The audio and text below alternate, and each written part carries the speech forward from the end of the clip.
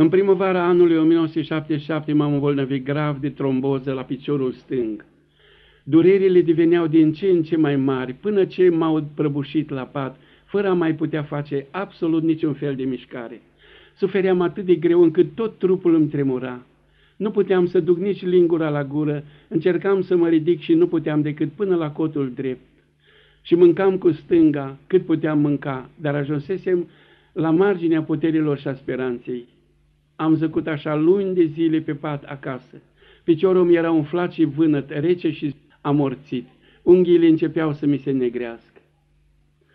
Am fost dus la Cluj și printr-un frate credincios am cunoscut un medic bun, om al lui Dumnezeu, care m-a internat în clinica lui, la care el era director. Specialistul lui de la chirurgie însă mi-a spus că singura soluție este operația. Trebuia să mă decid dacă accept sau nu. Una din asistentele lui îmi șopti, nu accepta acum, amână pe mâine. Vă rog, domnule doctor, i-am răspuns, mai dați-mi un timp de gândire până mâine. Bine. După vizită, asistenta care îmi șoptise veni la mine și zise, veniți după mine în salonul celălalt și vedeți, apoi vă decideți. În adevăr, în salonul celălalt erau numai oameni operați la picioare. Unii aveau degetele tăiate, alții lava piciorului, alții din genunchi, alții din șold, alții amândouă picioarele, mai mult sau mai puțin. M-am decis, decât în mâinile oamenilor, mai bine în mâinile lui Dumnezeu. A doua zi, chirurgul mi-a spus, atunci dacă nu te operezi, trebuie să pleci. Aici nu facem altfel de tratamente. Du-te la Covasna, dacă ai șanse de 1%, poate scapi. M-am întors cu foarte mare greutate și durere înapoi acasă. Am mai zăcut un timp și după aceea am obținut o trimitere la stațiunea Covasna prin cooperativa agricolă din sat pentru tratament. Am călătorit întins ca pe o targă în mașina unui frate de acasă până la Covasna, 12 ore de drum continuu. Mă însoțea un frate scump prin care Domnul m-a ajutat tot timpul și fără de care n-aș fi putut sta nicio zi acolo. În primul an nu s-a ameliorat deloc starea mea. Începură frații să vină la mine zi și noapte ca la un muribund. Era mereu camera plină de frați, de rugăciuni și de lacrimi, și așa s-a întins și boala și bucuriile cercetărilor frățești de-a lungul anilor mei, stând acasă, cât și prin stațiunile de tratament unde trebuia să merg la fiecare șase luni. Între timp se aflase în străinătate despre boala mea și am primit două invitații cu acceptare din partea ambasadei vest germane spre a mă duce pentru tratament în refugee. Îndemnat de mai mulți frații de către ai mei, la una dintre vizitele care mi le făcea periodic securitatea, care mă ținea mereu în supraveghere, m-am sfătuit să fac cerere pentru pașaportul care mi se aprobă să plec. Am făcut cererea, am întocmit formularele, dar plecarea nu mi s-a aprobat. Am mai primit o invitație din nou din partea unei alte vestite clinici, tot din RFG, dar le-am comunicat și acelora că din motive familiale nu le pot accepta invitația lor.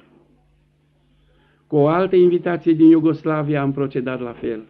Știam că toate acestea ar fi fost folosite pentru învinuirea noastră de relații cu străinătatea și n-am vrut să creez niciun fel de piedici și învinuiri fraților.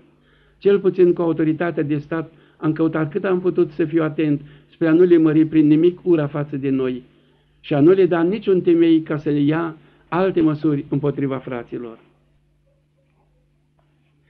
Cu ani boala mi s-a mai ușurat puțin, durerile mai micșorându-se până la suportare. Mă și obișnuisem cu greul acestei cruci. Dumnezeu mai micșorase puțin din greutatea crucii mele ca să mai pot face și altceva, nu numai să sufăr. Am început atunci să mai strâng alte caiete de cântări nemuritoare, de meditații și povestiri. După expirarea timpului legal admis pentru concediul de boală de la serviciu, mi-au spus să-mi strâng adeverințe de pe unde am lucrat pentru întocmirea dosarului de pensionare. Am pornit corespondențe și cereri după adeverințe de pe unde lucrasem înainte, dar unii nu mai aveau evidența, alții mi-au dat adeverințe doar pe jumătate din timpul lucrau sau și mai puțin, astfel că n-am reușit să strâng acte decât pe cinci ani, jumătate din timpul cerut de lege. Așa nu aveam niciun drept la pensie, nici măcar la un ajutor social. Eu făcusem șapte ani militarie și front, 17 ani de închisori, 10 ani interdicție, când să mai fac și serviciu? Dacă nu aveți drept de pensie și nu vă puteți prezenta nici la serviciu, va trebui să faceți cerere de demisie, mi-a spus protopopul. Am făcut cererea de demisie și am trimis-o. Au trecut așa aproape doi ani până când într-o zi a venit la mine consilierul episcopiei și mi-a zis Domnule Dors, conducătorii noștri au ajuns la concluzia că dumneavoastră trebuie să fiți ajutat cumva, fiindcă nu aveți nicio pensie, nici ajutor social, nici un alt mijloc de trai, nu vă putem lăsa așa, trebuie să vă ajutăm. Mulțumesc foarte mult, dar dacă eu nu am niciun drept legal, nu pot primi nimic, nici ilegal. Nu-i ilegal, S-a ajuns la înțelegere între organele de stat și organele bisericii, ca dumneavoastră să fiți primit din nou în serviciu și să vi se dea salarul pe care l-ați avut. Dar eu nu mai pot să merg nici de cum la serviciu, am zis. Vedeți starea în care mă găsesc de ani de zile. Nici nu-i nevoie să mergeți, veți primi salarul fără nicio condiție. Nu pot să primesc un astfel de salar, domnule, pentru care să nu muncesc. Aceasta este o pomană umilitoare pentru mine. Va trebui să primiți. E hotărârea autorității, iar dacă dumneavoastră vă împotriviți, s-ar putea interpreta știți cum. Eu vă sfătuiesc stăruitor să nu vă opuneți. Este în interesul dumneavoastră în ambele feluri. Ascultați-mă. Vă rog să-mi dați un timp de gândire. Nu pot primi așa. Trebuie să primiți și fără amânare. Să întreb măcar familia, ce fac eu dacă peste o lună, două, peste un an, doi, să zicem, vine cineva și spune, Domnule, dumneata ai primit un salar pentru care n-ai muncit, dă imediat toți banii înapoi.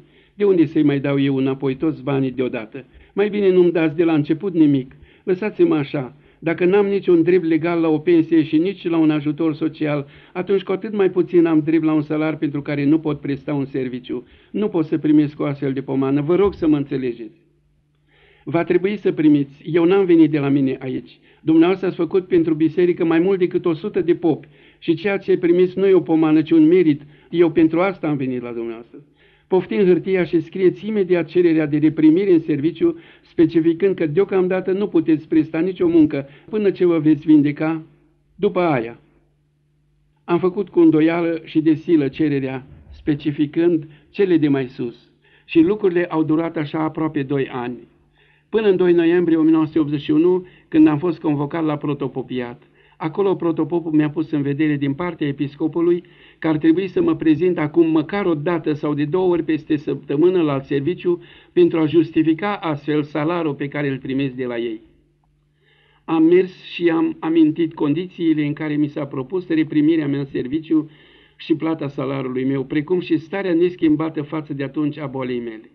Am spus din nou că nu pot nici de cum să mă deplasez cei aproape șase kilometri dus și alții șase întors de acasă până la serviciu. Pe jos nu pot, autobuze nu sunt, mașină personală nu am, așa că dacă a intervenit ceva nou în statutul de până atunci, eu sunt gata imediat să renunț la pomana care mi se dă pe nedrept. Scrie asta și la episcopie, mi-a răspuns dânsul. Am scris. Așa după cum îi spusesem și lui și după cum se petrecuseră de fapt lucrurile. Iar după câteva zile am primit un răspuns fără număr de înregistrare din partea consilierului episcopesc care mă lămurise la început că după ce s-au studiat toate posibilitățile, s-a revenit la dispoziția de la început care nu mă obligă a mă mai prezenta la serviciu. Câte posibilități se vor fi studiat? Numai Domnul știe. Motivul era că episcopul auzise sau îi se spusese sau îi se pusese în vedere că eu mai plec de acasă pe la frați și cum mă puteam duce la adunări, zicea el, puteam merge și la serviciu. Fusesem într-adevăr la vreo două nunți mari, unde niște frați mă duseseră cu mașina lor, dar asta era cu totul altceva. Se încerca din nou să fiu și mai legat la un par. Dar în zadar, destul fusesem ținut legat atâția ani din viață. Era de ajuns. Acum căutau să-mi interzic a merge până și la o nuntă. Ce nedrept este omul cu semenul său, chiar și când are cel mai evident folos din partea lui.